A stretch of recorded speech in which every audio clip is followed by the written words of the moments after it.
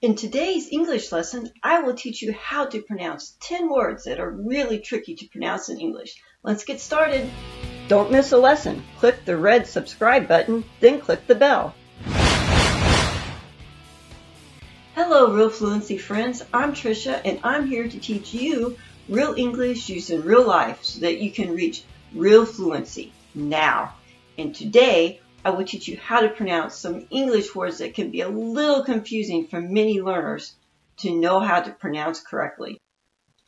The first word is island. It's a noun. It means an area of land with water all around it. The S is silent. The word island came from an old English word without an S, but someone took an S from the Latin word for island and stuck it in the English word.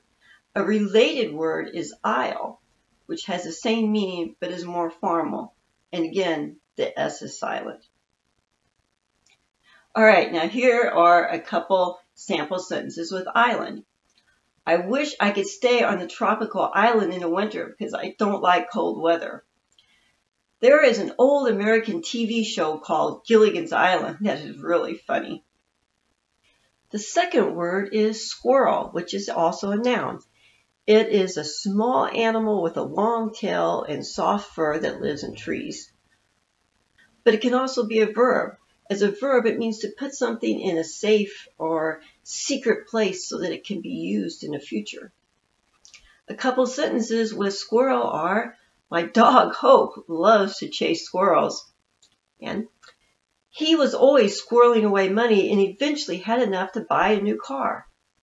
Number three is colonel, which is also a noun. It means an officer of high rank in the military. It is influenced by both the French word and the Italian words.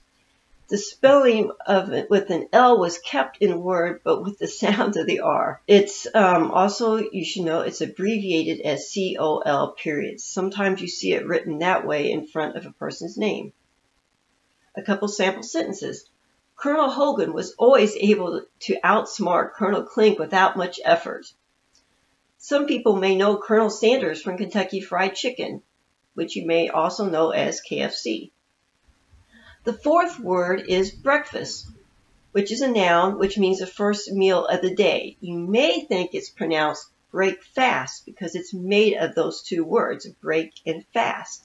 It literally means to break or to stop the fasting period of the previous night. In other words, you eat again after having not eaten overnight, but it's pronounced breakfast.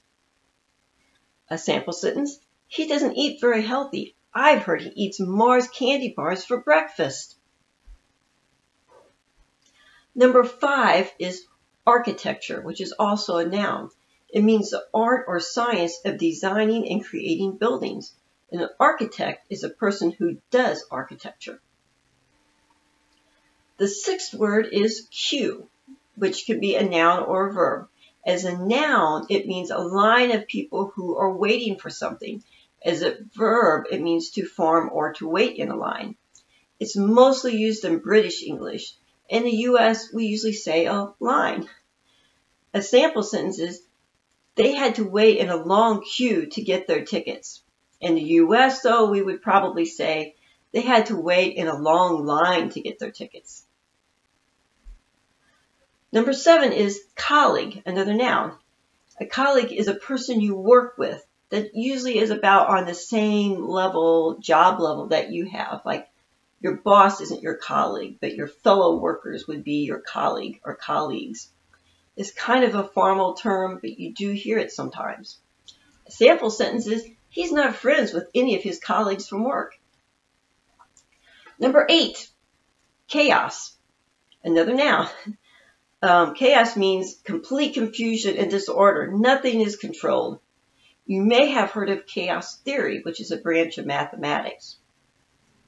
A sample sentence. After the hurricane hit the island, there was total chaos. Number nine is worm, which is a long, thin, small animal that has a small, a soft body with no legs or bones and often lives in the ground. There are a couple common idioms with the word worm that would be important to know. The first one is can of worms, which is a difficult problem or situation that is hard to solve. As in, please don't talk about that. I don't want to open that can of worms. The other one is the early bird gets the worm, which means a person who arrives first or early for something has a better chance for success. Number 10 is realm. Realm. It's a noun. It can mean a kingdom or an area of activity, interest, or knowledge. Um, in a sentence, every day there are many new discoveries in the realm of genetics. And that's all for today's lesson. And this was the first video I've made using this new format. So please let me know if you like it. I've been testing a lot the past few days and I will probably continue to test more the next few days and change it a little bit, tweak it a little bit now and then. So please let me know what you think. But before you go, please click the round image over there to subscribe to my YouTube channel so you don't miss any of my videos. And when you get done, you can click down here and you can get some free ebooks to help you with English.